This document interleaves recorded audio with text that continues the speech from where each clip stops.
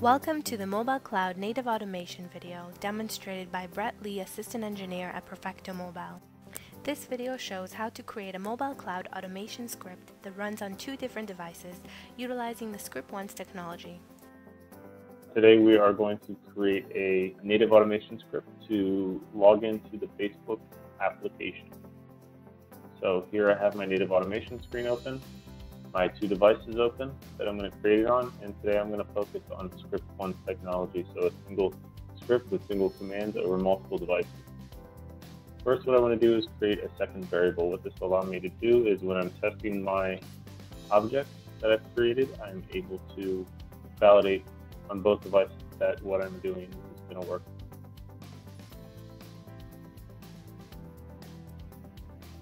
So I'm going to deselect uh, runtime for DUT2, uh, and we'll leave DUT on, and what we'll do is upon execution, we will run okay, and let's go ahead and start. So first, just like every script that we create, we start with DUT home. What this does is going to drive the device to its home screen.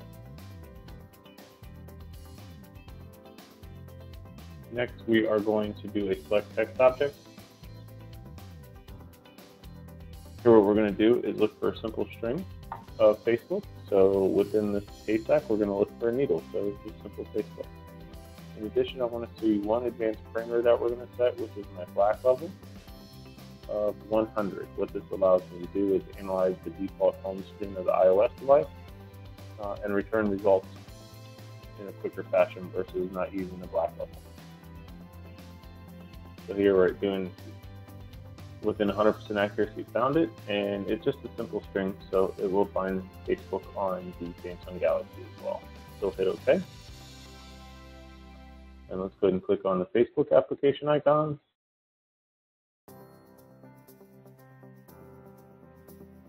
And wait for it to load on the Samsung. And here we go. So Next, what I want to do is I'm just going to add a simple wait statement. What this will do is allow the application some time to load. I'm going to go ahead and give it a default value of 7. 7 meaning 7 seconds, of course. How I did that is I went into some of the predefined user functions that we have, and you can see we have a vast range of them. So instead of using a text object, image object, or mobile web spy, this will allow me to use it accordingly. So just to wait a seven seconds. Next, we're going to use an edit set object.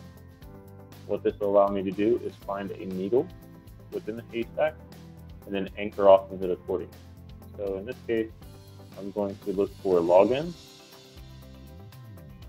I'm going to enable my label position. By default, it's to the left. I'm going to say my login anchor is below where I'm going to insert text. And my value that I'm going to put in is my username for my Facebook account. And we need to define a label offset. What this label offset is, is it defines a percentage value of the screen to say that my login sits below where I want to insert my value, which is going to be my email address. So let's try 15% um, at the start. Hit try. Nope, you see here it's not quite high enough. Let's say 18%. And try. And there we go.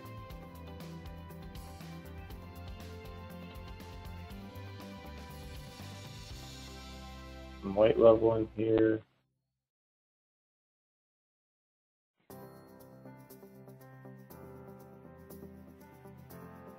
Doing the same thing I just enabled to my level. You can see that didn't work. That's okay, good. We have a login as an anchor point. Our username is the email. Actually, I'm going to change my anchor point to password. It's going to be a bit easier to anchor accordingly.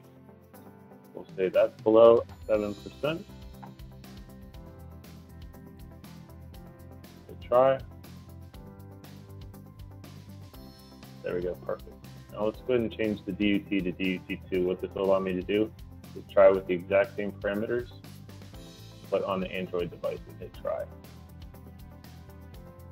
that may not be high enough, so let's go ahead and try this to 9% and try.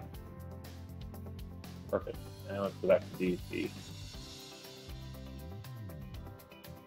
and try again. Perfect. So you can see that one object will allow me to operate on both devices. We'll go ahead and hit OK. So now we have our email. We're going to again use the edit set object. So we'll click on it, load it. And here this one's going to be a bit easier because our label that we're looking for is exactly where we want to enter text. And here I'm going to enter my password for the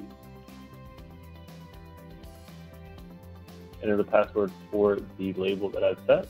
So hit try. Again, we're still looking for password, but instead of anchoring above it, we're just going to anchor right directly on it, which is fine. Go to DUT2, refresh my digital image, hit try. You, of course, don't need to do this on every object.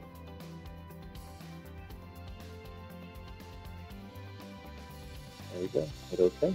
So now we have our launch the Facebook application. We're going to wait a few seconds for it to load the application.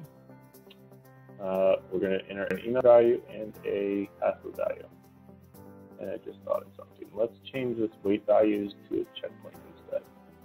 So delete that and do a sync checkpoint. Click down below. There we go. And we're going to do something a little bit different here. We're going to use the sync checkpoint to wait until it can find the string of password. It'll, of course, by default, wait up to 60 seconds. So instead of using a wait statement, this is a far more uh, better way to use validation. Hit OK. There we go. We have our home. Open the Facebook application. Our text checkpoint. Then we're going to hit our um, edit set value, which is going to enter an email address, our password, and the next thing, of course, we need to leverage our login. So we're going to click on button. Let's type in login. And if I wanted to validate this on both devices, I do the exact same thing as I did before. But one thing to highlight is you always want to make sure you record under DUT uh, because that's device under test, and that's what we do upon execution. So go to DUT, hit OK and login. All right, so that's pretty much it for the login. So let's go ahead and run it on both devices to make sure it does work. Hit run. We're going to do the iPhone 4S first. And execute.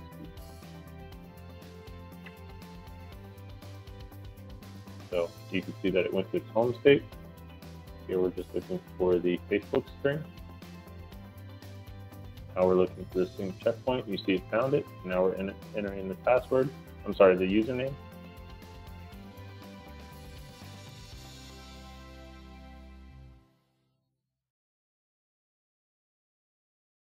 That ended successfully. Now we're going to enter password and login.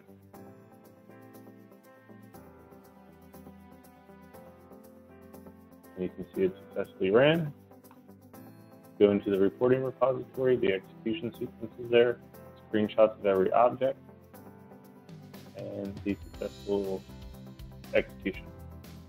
Go back to the same thing. Now we're going to run this on the Samsung Galaxy. Same thing. Go to run. Uh, instead of the iPhone 4S, our DUT is now going to be the S3. Click run.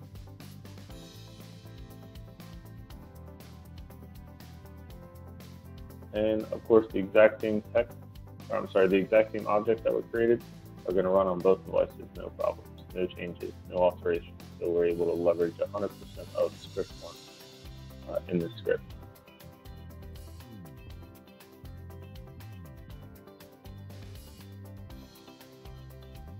Key things here, uh, load times that it may take on the different devices, which is why I'm using the checkpoint versus the wait value. So once it finds the string of login, we're going to do the exact same thing. Click login, and once it clicks login, the test will say completed successfully. And that's all I have. good luck. Let me know if you have any questions.